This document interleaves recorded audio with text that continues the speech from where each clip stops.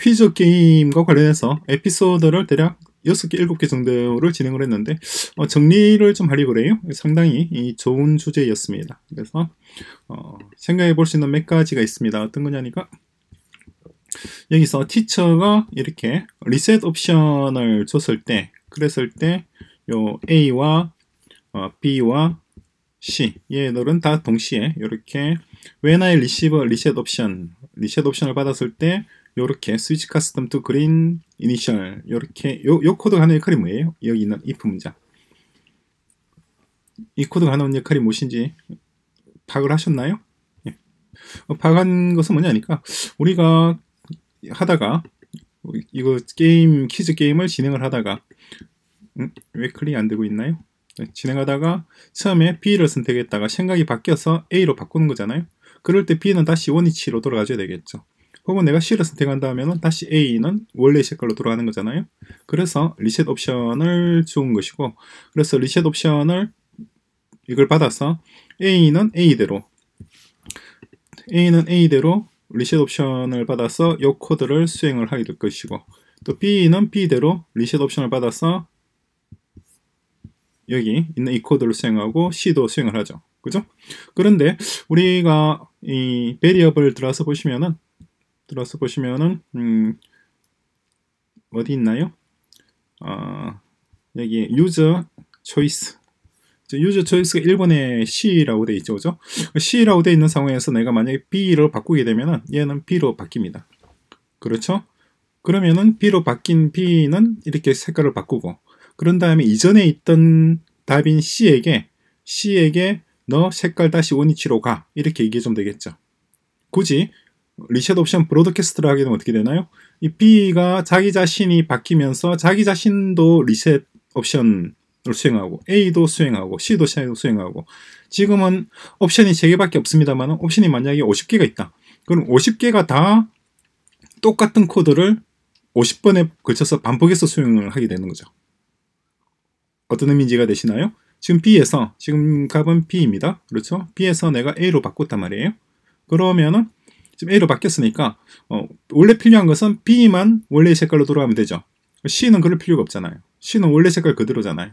그죠? 그럼에도 불구하고 A나 B나 C나 다 똑같이 리셋 옵션을 받아서 여기 있는 이 코드를 수행한단 말이에요. 이게 뭐 10개면은 뭐 괜찮고 뭐 20개라도 뭐 괜찮고 하겠지만 100만 개다.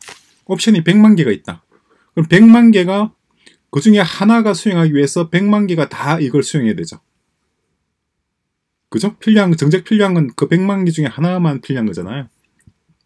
그렇죠? 그래서 만약에 브로드캐스팅이 들어서 브로드캐스팅이 아니라 누군가 특정한 sprite에게만 데이터를 보내줄 수 있다면 그러면은 나머지 99만 9,999개는 할 필요 없겠죠.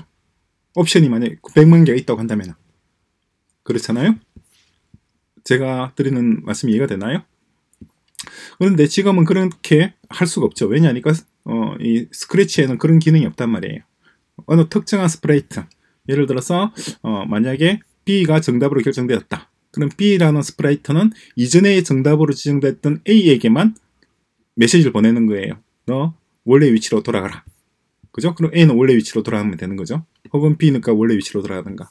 어, 글로 한번 적어볼까요? 만약에 어, if, if입니다. if A is selected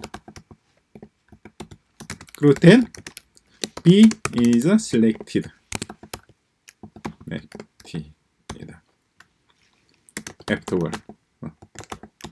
이렇게 이 경우입니다. 그런 경우 뭐 A가 현재 선택되어 있는 상황이고 A is selected이고 그런 다음에 바뀐 거예요. 다시 B is selected 바뀐 겁니다.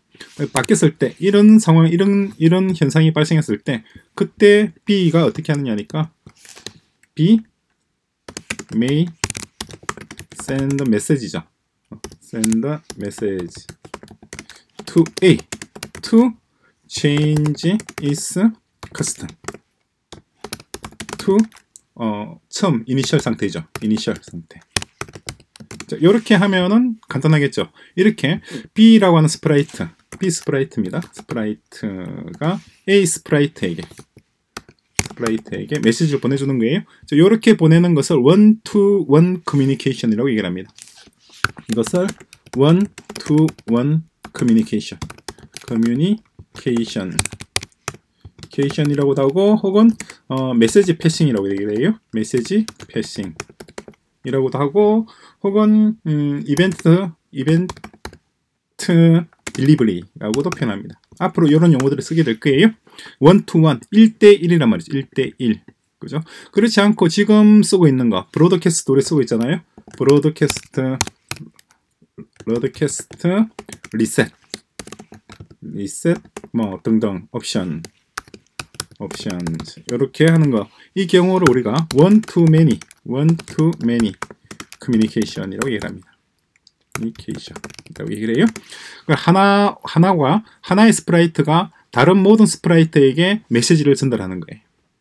그죠? 그래서 옵션이 만약에 100만 개가 있다 그러면은 100만 개가 다 동시에 각자 자기의 여기 어디에요? reset option 코드에 들어와서 이 코드를 수행을 해야 되는 거죠. 낭비잖아요. 그죠? 이런 낭비를 없앨 방법이 어, 지금 Scratch에는 없어요. 그런데 우리가 좀 이따가 Python이라는 것을 공부하게 됩니다. Python을 공부하게 되면 바로 이러한 기능.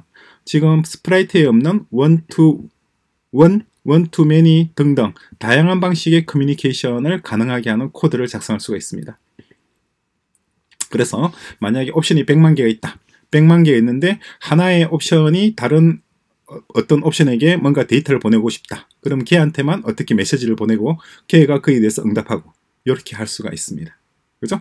근데 나중에 Python 그래 Scratch를 우리가 공부를 하고 그런 다음에 나중에 Python을 공부하는 이유가 뭐예요?